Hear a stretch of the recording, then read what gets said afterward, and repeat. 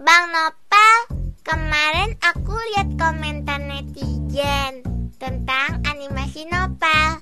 Terus aku lihat beberapa dari mereka nyaranin ganti suara karakternya. Lalu, Aku pengen ganti suara ah, tolong dinilai ya. oke. Halo,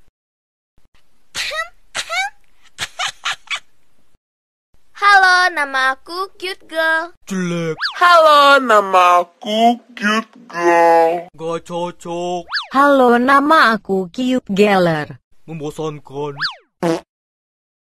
Halo, nama aku Cute Girl. jelek, Halo, nama aku Cute Girl. jelek. Udah ah, aku capek. Nah, suara yang tadi itu tuh cocok.